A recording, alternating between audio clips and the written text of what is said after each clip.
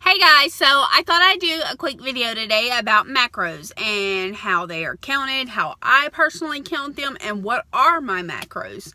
So let's get right to it. My macros and everybody else's macros are based on proteins, carbs, and fats. Those three things. You want to know your macros a day, either if you want to gain weight, lose weight, maintain your weight. Those three things you can do with if it if it fits your macros. You do not have to be personally losing weight to do if it fits your macros. And that's what I like about it. Because once I get to my goal weight, I can actually do if it fits your macros and maintain my weight, which is what it, I've struggled with. Yes, I've lost a ton of weight before, but I haven't been able to maintain it because I wasn't learning what I needed. I was eating prepackaged foods and that's no way to learn how to lose weight or maintain your weight because once you quit eating their foods, you're going to gain weight. Anyway, so what are my personal macros? My macros are, um, I eat 2,000 calories a day.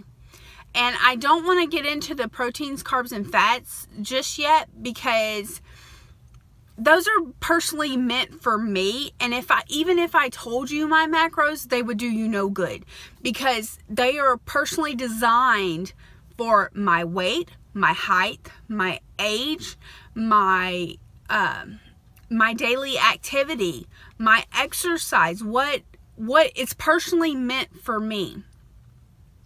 And for me to tell you my macros, it would do you no good. So, I mean, I will tell you that I'm eating 2,000 calories a day. No, please, I am not a nutritionist. I'm not certified. Please do not eat 2,000 calories a day and try to lose weight.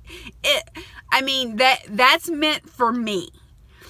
Uh, but please don't eat 1,200 calories a day because I mean that's starving yourself. Even a tiny person eats more than 1200 calories a day. And I didn't know that until I got into if it fits your macros because your body needs fuel and food is fuel.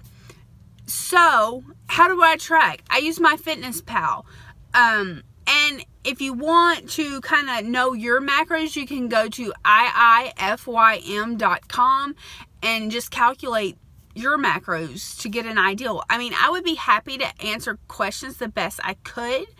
If you have any, you can leave them down in the comments below. Or if you want to, um, I'm using a coach. If you want to get in contact with her, I'm sure she would love to answer any questions you have. And I think I answered all the questions I had so far. So if I missed you, I'm not trying to ignore you. Uh, just leave it down in the comments below. So I hope y'all have a great day. Bye, guys.